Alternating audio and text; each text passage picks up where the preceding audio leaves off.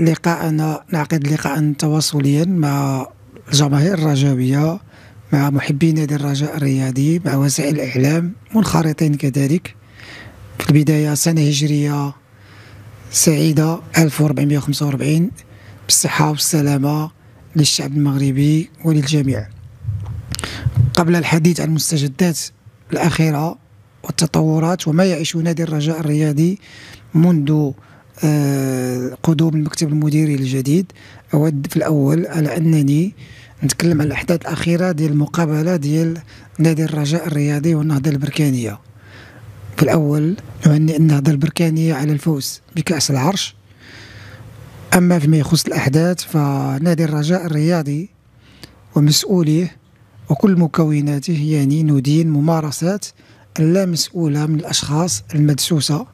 وعندما نقول مدسوسة فإننا نعرف جمهور نادي الرجاء الرياضي الجمهور الوطني الجمهور الغيور على الكرة المغربية وعلى الراية الوطنية. الناس المدسوسة أو الأشخاص المدسوسة وسط الجماهير الهدف ديالها كان هو خلق الفتنة وخلق البلبلة وكذلك إعطاء واحد الصورة غير مشرفة للجماهير الرجاوية.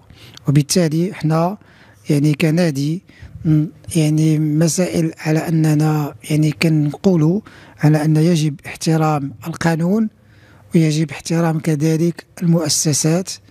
وعندما نقول مؤسسات نخص بالذكر الجامعة الملكية المغربية والرئيس الجامعة الملكية وأعضاء الجامعة الملكية المغربية كرة القدم. حنا كنعرفوا بأن الدور كبير اللي لعبته الجامعة واللي لعبوا فوزي القجع في تطوير كرة القدم المغربية في تطوير الأندية المغربية. ما جاء به منذ انتخابه إلى اليوم فهو شيء يشرف. آخرها الانتصار في الكاف والانتخابات الأخيرة.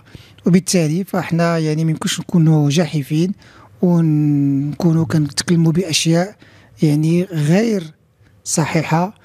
وغير موجودة خصوصا أن جماهير أو بعض الناس أو بعض المكونات في نادي الرجاء الرياضي دائما كتتكلم على المظلومية ودائما كتتكلم على على أن هناك أشياء تحاك ضد نادي الرجاء الرياضي.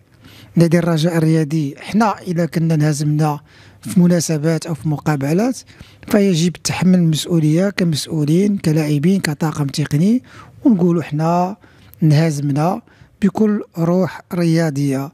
اليوم نادي الرجاء الرياضي بمكوناتها أعيدها وأكررها يجب احترام القانون يجب احترام المؤسسات.